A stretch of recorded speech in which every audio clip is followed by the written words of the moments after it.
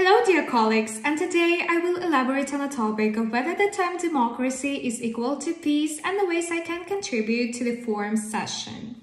Uh, well, actually, my humble opinion, democracy and peace are not complete, complete synonyms. However, there is a strong connection in these words' connotations.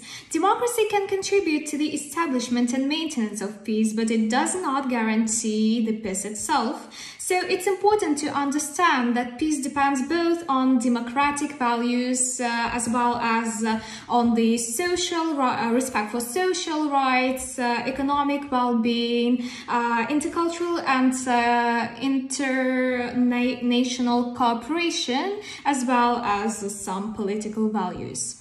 Uh, so uh, I'm sure that my knowledge will help to contribute to the forums, uh, to the council's discussion, and so that later I can apply my experience uh, in my homeland uh, and uh, try to restore and maintain the democratic values in my own country.